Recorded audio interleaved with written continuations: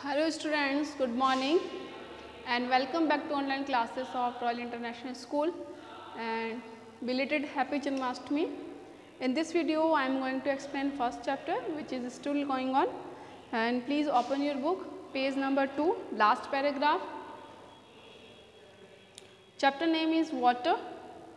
Water is the best हमने इस chapter में ये पढ़ा है कि जो राइटर है जो वाटर को रियल एलेक्जर बताने, बता रहा है, वो इसको कह रहा है कि हम जो डिवाइन अमृता है, उसकी सर्च में, ऐसे ही व्यर्थ में ही अपना टाइम वेस्ट करते हैं और इन रियल जो डिवाइन अमृत है, वो हमारे आसपास ही है। और ये भी बताया गया है कि कैसे एक वाटर इस अर्थ पर दो कंट्रास्ट में कि दो विपरीत सिचुएशन क्रिएट कर सकती है। एक जगह डेजर्ट है तो दूसरी तरफ़ मोस्ट फर्टाइल जो लैंड है उसको बना सकती हैं। और हमने ये भी पढ़ा कि जो साउथ इंडिया है उसमें जो रेनफेंट टैंक्स है वो कितने ब्यूटीफुल लगते हैं और उनमें जो धान की खेती होती है जो राइस है उसको कैसे उगाया जाता है।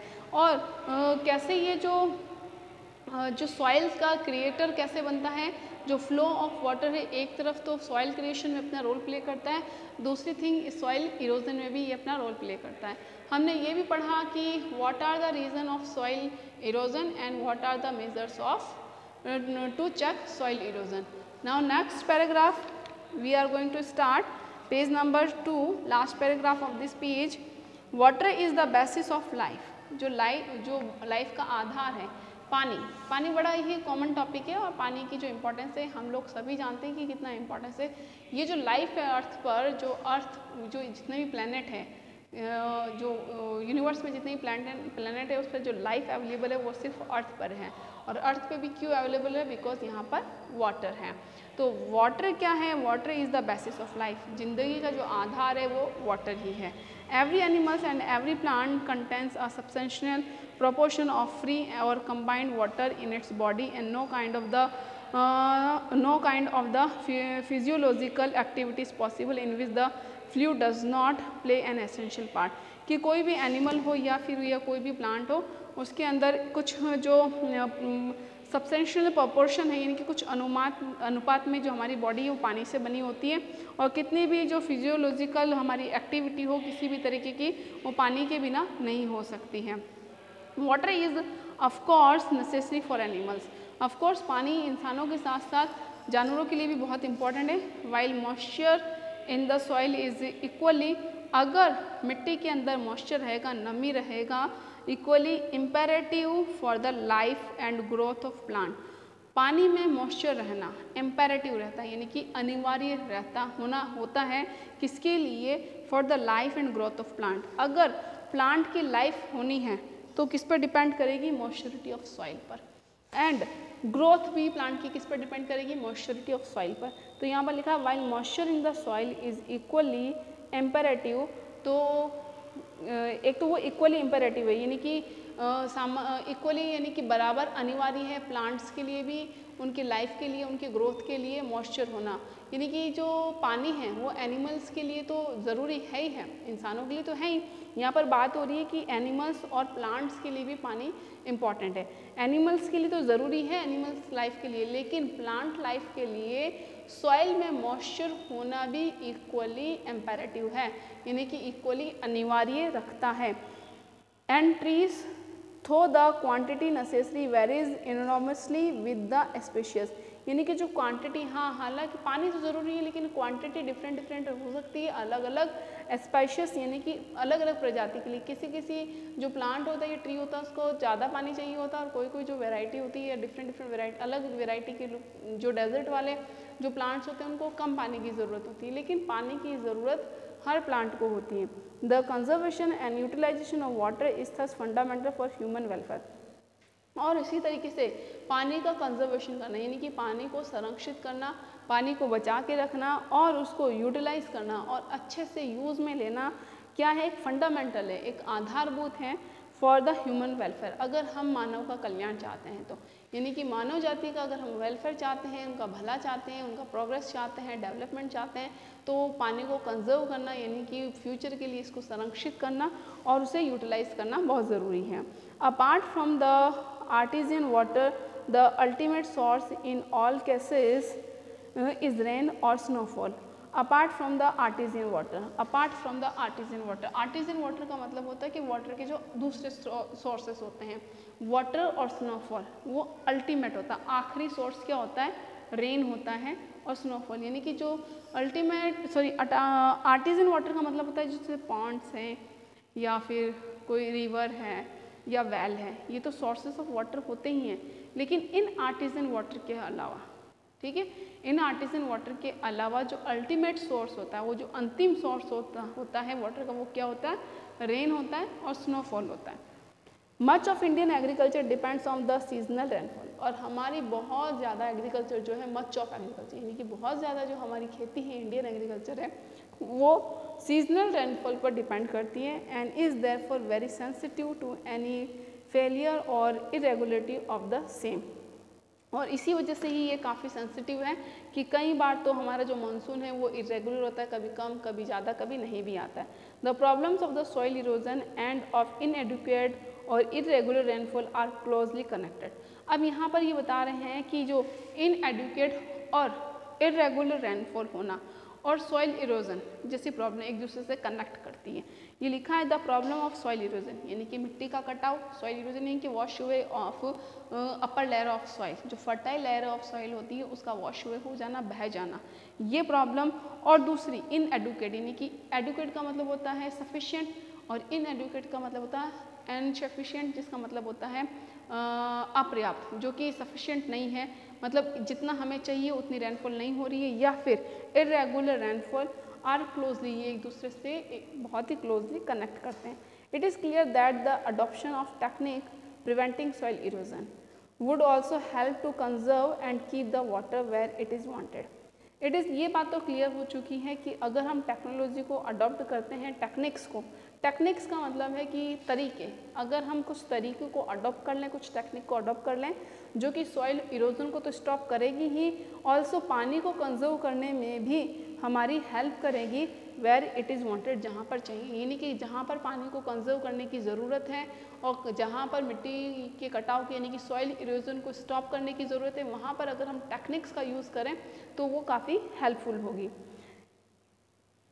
In other word in the soil and such techniques therefore uh, serve a double purpose तो हम कह सकते हैं कि इस तरह की, जो टेक्निक्स है वो डबल पर्पस के लिए यूज़ हो सकती है। डबल पर्पस कैसे?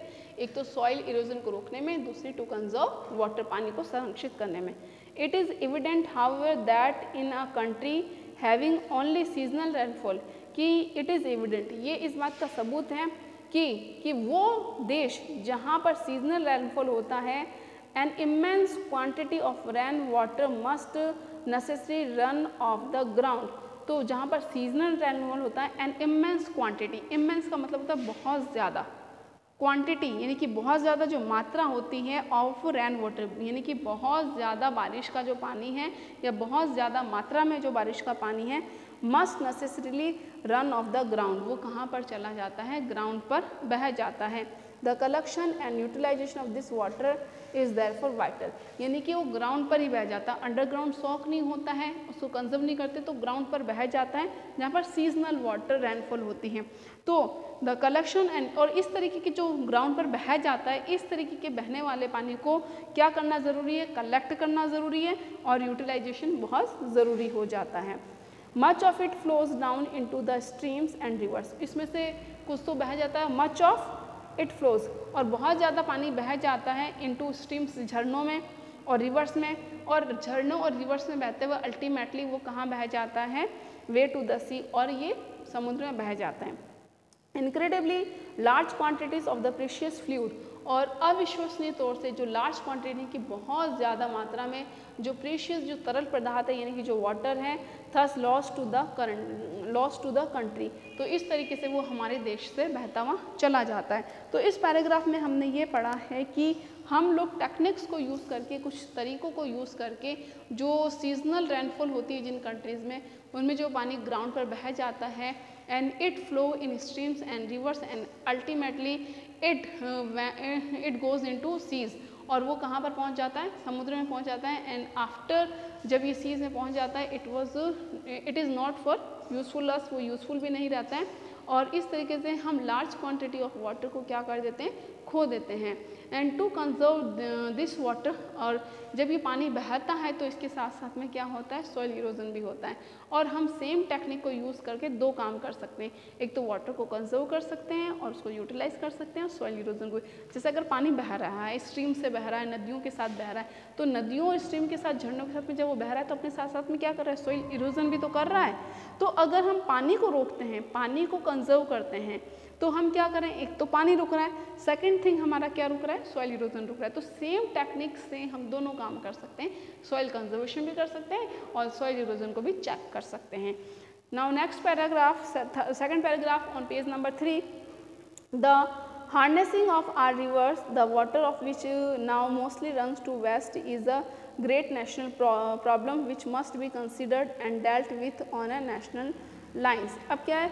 The harnessing of our rivers की जो हमारे नदियों का जो हार्नेसिंग जो होता है, जो नुकसान जो होता है the water of which now mostly runs जिसका वेस्ट जो जो वाटर है, जिसका जो बहुत सारा जो पानी है, वो क्या हो जाता है? रन्स टू वेस्ट वेस्ट हो जाता है is a great national problem और ये बहुत बड़ी हमारी नेशनल प्रॉब्लम है. The harnessing of our rivers पहली बात तो हार्नेसिंग ऑफ़ आर रिवर्स यानी कि हमारे नदियों का जो नुकसान जो हो रहा है, वो the water of which now mostly runs to waste और जो वाटर है now mostly runs to waste जो कि वेस्ट ही बह जाता है वेस्ट बह जाता है, यानी कि वेस्ट बहना व्यर्थ ही बह जाना तो ये क्या है? ये हमारी नेशनल प्रॉब्लम है विच मस्ट बी कंसिडर्ड और उस पर क्या करना चाहिए? यानी कि रिवर्स की हार्नेसिंग को रोकना चाहिए और वाटर को वेस्ट होने से रोकना चाहिए। ये दोनों ही जो प्रॉब्लम्स हैं ये क्या मस्ट बी कंसिडर्ड इन पर विचार करना चाहिए and dealt with on national line और इस पर काम भी करना चाहिए। कौन सी लाइन पर? नेशनल लेवल पर इस पर काम करना चाहिए। Vast areas of land which at present are mere scrub jungles and could be turn into fertile and prosperous country by courageous and well plan action ये क्या? कि वास्ट एरिया ऑफ़ लैंड यानी कि भूमि का बहुत बड़ा एरिया एट प्रेजेंट कि आज के टाइम पर जो भूमि का बहुत बड़ा एरिया है, जहाँ पर सिर्फ़ मैर M E R E mere यानी कि only M E R E mere, यानी कि सिर्फ़ स्क्रब जंगल से, यानी कि झाड़ियों वाले जो जंगल है, कि भूमि के एक बहुत बड़े एरिया पर लैंड पर जो कि झाड़ियों वाले जो जंगल हैं कुड बी टर्न उनको किसमें टर्न कर सकते हैं? फल फर्टाइल एंड प्रॉस्परस कंट्री में। एक फर्टाइल और प्रॉस्परस कंट्री में हम चेंज कर सकते हैं, लेकिन कैसे? By courageous and well plan action अगर हमारा जो काम है, वो वेल प्लान हो, यानी कि सुनियोजित हो, और साहसिक काम से हम ऐसे जो झाड़ी वाले स्क्रब फॉरेस्ट हैं उनको हम क्या कर सकते हैं? एक फर्टाइल और प्रॉस्परस कंट्री में चेंज कर सकते हैं। Closely connect with the conservation of water supplies is the problem of the afforestation देखो डिफॉरेस्टेशन का तो मतलब होता है जंगलों की कटाई वगैरह होना। अफॉरेस्टेशन का मतलब होता है कि ज़्यादा से ज़्यादा जंगल को बढ़ावा देना या अफॉरेस्टेशन पेड़ वगैरह लगाना। तो closely connect with the conservation of water supplies is the problem of afforestation ठीक है? अफॉरेस्टेशन में क्या होता है कि भाई ये जो सॉइल वगैरह सॉरी जंगलों का ख़त्म होना और इस तरीके की ये जो प्रॉब्लम है, ये एक दूसरे से क्या करती है? कनेक्ट करती है। The systematic planting of suitable trees in every possible और even the impossible areas and the development of what one can call civilise forest as अब क्या होता है कि a systematic planting of suitable trees कि जिस एरिया को कोई ट्री सुटेबल हो, हर एरिया में तो हर कोई ट्री नहीं लगा सकते। अगर हमारा डेजर्ट एरिया तो यहाँ पर हम कोकोनट ट्री लगा नहीं सकते। तो हम लोग क्या लगाएँगे? द सिस्टमेटिक प्लांटिंग एक प्लांटिंग करना यानी कि पेड़ों को लगाना, वो भी सिस्टमेटिक लाइन से, ठीक है? Of suitable trees in every possible और इवर इम्पॉसिबल एरिया कि हर पॉसिबल और इम्पॉसिबल एरिया में पेड़ों को सिस्टमेटिक तरीके से लगाना and the development of what one call civilised forest और डेवलप करना, किसको सिविलाइज्ड फॉरेस्ट को डेवलप करना? As distinguished from wild and untamed jungle जो कि वाइल्ड यानी कि जो जंगली पेड़ वगैरह होते हैं, जहाँ पर यूज़फुल ट्रीज़ नहीं होते हैं, उनसे कुछ अलग होता है। Is one of the most urgent needs of India ये जो नीड है, वो इंडिया की सबसे इंपॉर्टेंट नीड है। क्या इन, क्या नीड है बेटा? The systematic planting of suitable trees कि एक प्लांटिंग करना, पेड़ों को लगाना पॉसिबल एरिया में और इम्पॉसिबल एरिया में। लेकिन ये जो फॉरेस्ट हम लोग बनाएँगे, ये कैसा होना चाहिए? सिविलाइज होना चाहिए, जो कि डिस्टिंग्विश्ड होगा, जो कि किससे अलग होता है, भिन्न होता है from wild and untamed jungle से। Such plantation would directly and indirectly prove a source of untold wealth to the country और इस तरीके का प्लांटेशन करना किस तरीके का? कि भाई हम सुटेबल ट्री लगा रहे हैं वो भी सिस्टमेटिक तरीके से लगा रहे हैं ये डायरेक्टली और इनडायरेक्टली क्या होगा? वेल्थ टू द कंट्री ये हमारी कंट्री की डायरेक्टली uh, और इनडायरेक्टली हमारे लिए वेल्थ होगी अनटोल्ड वेल्थ होगी। They would check soil erosion ये वेल्थ कैसे होगी? एक तो ये सॉइल इरोजन को रोकेंगे कंजर्व द रेनफॉल ये ट्रीज़ बहुत सारे जब ट्रीज़ लगे होंगे अफॉरेस्टेशन जब होगा तो क्या होगा?